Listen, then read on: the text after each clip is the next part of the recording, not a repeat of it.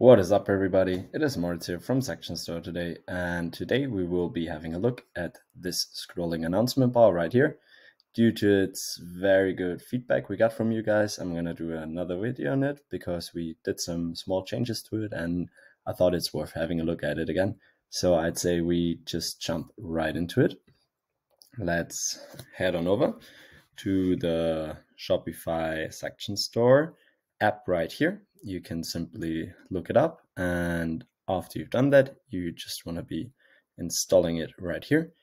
And when that is finished, we head on over to the Shopify admin area of your very own store, where you want to be looking for section store underneath apps right here, which should redirect you to this interface right here.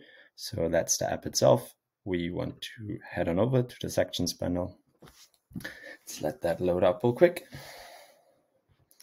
Exactly. And there we have the scrolling announcement bar already. So as you can see, um, I'm owning this already, but for you, it's going to be a one-time purchase of $9.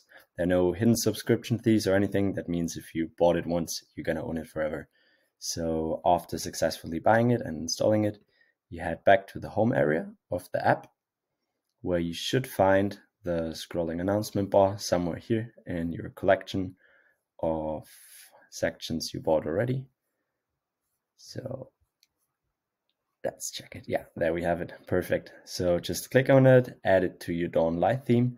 And after you've done that, you scroll back to the top and simply open up the Dawn Light theme right here, which should direct you to the editor which I have opened up already. So you can see it right here.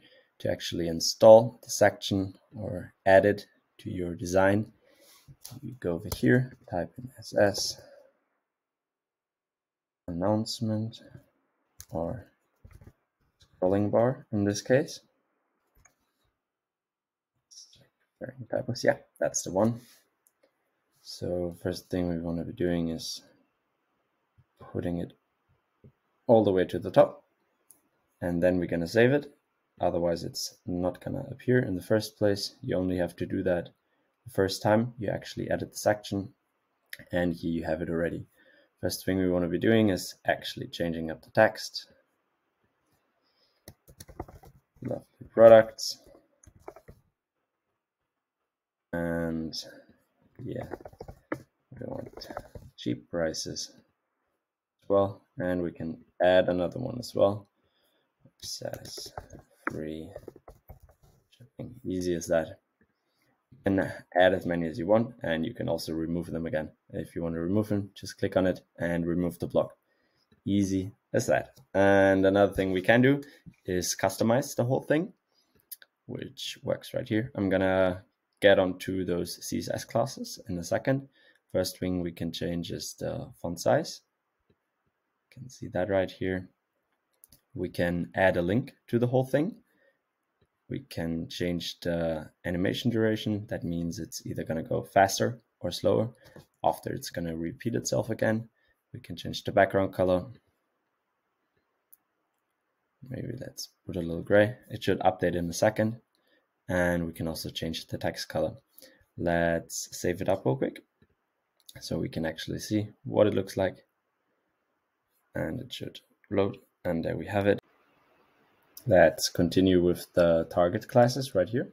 So in this little text it suggests that if you leave the target classes the whole section will continuously appear on top but i'm gonna give you a quick example how you can actually position the section on wherever you want in the editor simply delete those classes right here save it up